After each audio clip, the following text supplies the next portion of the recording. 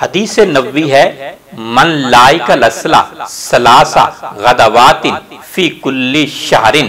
لم یصبہ عظیم من البلا جس نے مہینے میں تین دن صبح نہار منہ شہد پیا، تو اس کو کوئی بڑا مرض نہیں ہوگا، انشاءاللہ۔